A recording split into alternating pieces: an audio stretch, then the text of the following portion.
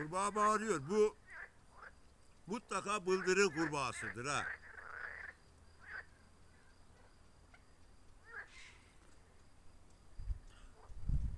Arka kısmım Sorun Nehri.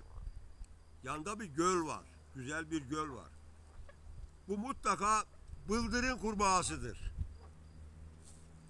Çünkü zamansız bağırıyor.